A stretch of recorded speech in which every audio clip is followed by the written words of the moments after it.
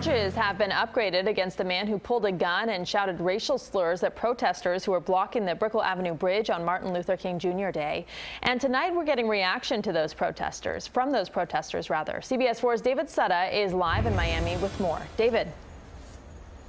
Yeah, we just spoke to one of the teenagers that was involved in this confrontation. He is pleased with what the state attorney's actions were today. However, he does feel more needs to be done.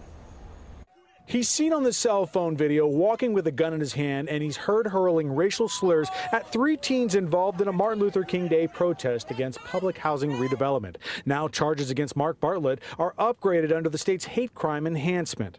Actions matter, words matter, and the crime matters. The law matters. Miami Dade State Attorney is charging Bartlett with three counts of aggravated assault with prejudice after his actions caught on camera upset many. The enhancement comes by his words, with coupled with the action. The teens were involved in a bikes up, guns down protest. Bartlett alleges they had shut down the road and were harassing people. He's maintained he was defending himself from a threat. Rundle says that's not the case. We just stick with the law and we stick with the evidence, and that's what it is in this case. Um, I'm sure the defense attorneys will do their best to find uh, criticisms and cracks in the case.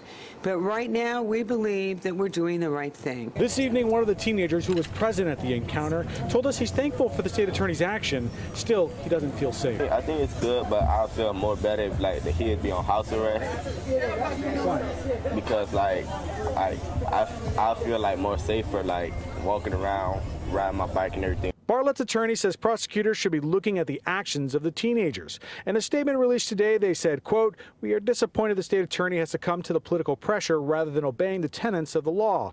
It's a shame the state attorney's platform for lawfulness has now turned into one of endorsing lawlessness. This charging decision is a disgraceful miscarriage of justice, and we intend to remedy it by vindicating our clients in court of law, not in the court of public opinion. I hope that this share awareness that this is not cool to do.